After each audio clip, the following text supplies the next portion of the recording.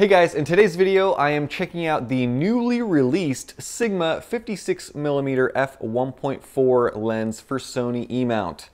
I am super excited to check this thing out, so let's see how it comes packaged. And this is the box that it comes in. It is very compact for a Sigma DCDN lens. For comparison, I have the 30mm box right here, and then the Sigma 16mm box, which is quite a bit bigger. So let's open this thing up. Warranty card to our valued customer, an instruction manual, um, some more warranty sticker information.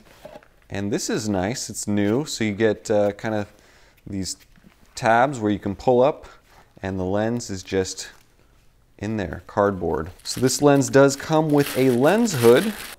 Uh, inside does have ridges. It's just a plastic all around. It does look like it has nice finishing on it though, so can't complain there. And the lens itself. This thing is tiny. Wow, it's quite a bit smaller than um, other 50 millimeter lenses from Sony. All right, so let's take the lens cap off the back. Here is the rear of the lens. Uh, you can see electronic connections. This lens does support autofocus on the Sony E-mount system. Metal mount, which is nice. Uh, around the front, huge front lens element. Look at that piece of glass. Uh, looks really nice. It looks kind of like those old vintage 50 millimeter fast primes. Around the side, you have same thing, same markings, Sigma logo, um, 018, which is their um, DC line, and then minimum focusing distance is 0.5 of a meter, 1.64 feet, and then again, made in Japan. And this is part of their contemporary line. So it is a very nice looking lens, and how smooth is that? Now obviously the manual focus ring here um, is completely electronic, meaning that it's not mechanical, so it's detached from the lens, um, but it is super duper smooth. Um, I have to say that it looks very, very nice. Now, just for size comparison, let me show you how big this thing is. So here are all three lenses side by side. So again, 16 millimeter, 30 millimeter, and then that 56. Very excited to put this on the camera and see what sort of images we get. So let's do that next. Here is the lens mounted on my a6000. I have to say I do like the size a lot. It's nice and compact. That front piece of glass is huge. You can see the aperture blades on the inside when I turn the camera on. They just open, turn it off, close back up. So the aperture blades are huge on this thing, um, so this lens lets in a lot of light, obviously at f1.4. The finish looks great. It matches the a6000. It looks great on the a6500 as well. Uh, again, the focus ring, super duper smooth. Build quality and finish is top notch, as I have come to expect from the Sigma E-mount lineup. This thing is about one centimeter shorter than the Zeiss 55 f1.8 lens. So now let's move on to the most important bit, which is sample photos and videos. And spoiler alert, this lens is nothing short of remarkable. Here we go.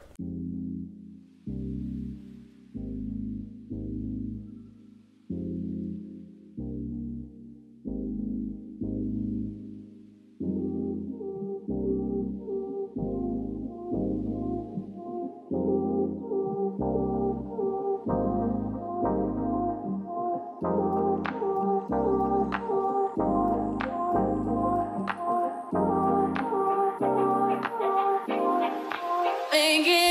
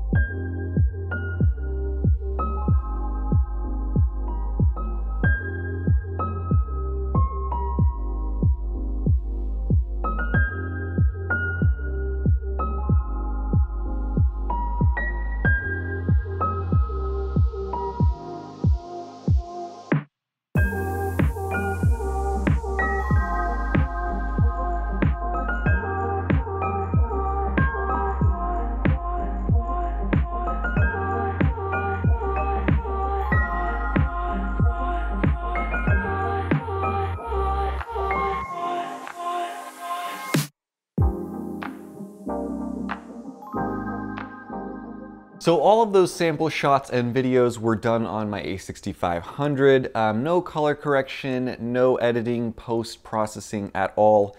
That is just straight out of the camera using this lens. And I have to say I am very, very happy that I picked this thing up. I am going to be using this thing exclusively as my go-to portrait lens. Um, so let's talk about it a little bit. The first thing that you notice about this lens is the out of focus areas or the bokeh. It is nice and smooth and creamy. What was interesting to me was using this lens wide open in video mode. Obviously you have to make sure that your shutter speed is much faster than normal, but the result that you get is pretty amazing. The background is just completely creamy. The subject separation is excellent. You almost can't even tell where the subject is. That's how creamy that background blur is. Now let's talk about sharpness, this thing is really, really sharp as I've come to expect from Sigma. I think that it might challenge the Sigma 16 millimeter as one of the sharpest lenses available for the Sony E-mount. In my preliminary side-by-side -side testing, when I shot this Sigma lens with the excellent and very well rated Sony 50mm f1.8, in the center, the Sigma is noticeably sharper, and in the corners, it is very noticeably sharper. Taking the same shot with the Zeiss 55 f1.8, which is a $1,100 lens,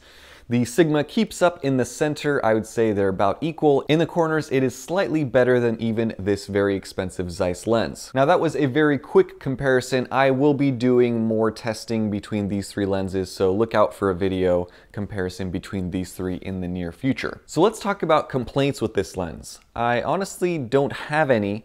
The distortion is well controlled. The flaring also is well controlled. If you're shooting into sunlight, use the lens hood. It helps out a ton. And it's, uh, it's a nice looking lens hood as well. I think that the whole kit nice and lightweight. The colors are excellent, and if you decide to use manual focus and use this focus ring, it is very easy to electronically rack focus from one subject to another.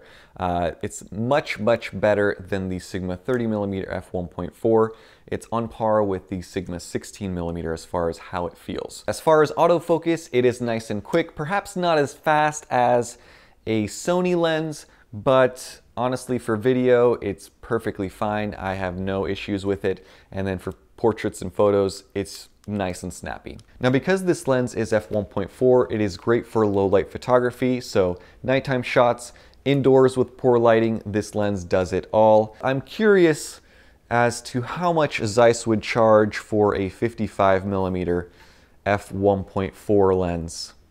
I probably don't want to know the answer to that question. So would I recommend this lens? Yes, and absolutely. This is a very easy recommendation if you are in the market for a great portrait lens, not great, um, if you're in the market for the best portrait lens available for the Sony APS-C E-mount, buy the Sigma 56 f1.4.